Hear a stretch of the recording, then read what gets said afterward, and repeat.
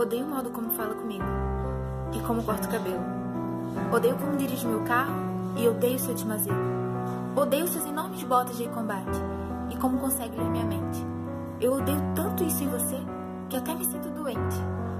Odeio como está sempre certo e odeio quando você mente. Odeio quando me faz rir muito, mais ainda quando me faz chorar. Odeio quando não está por perto e odeio o fato de não me ligar.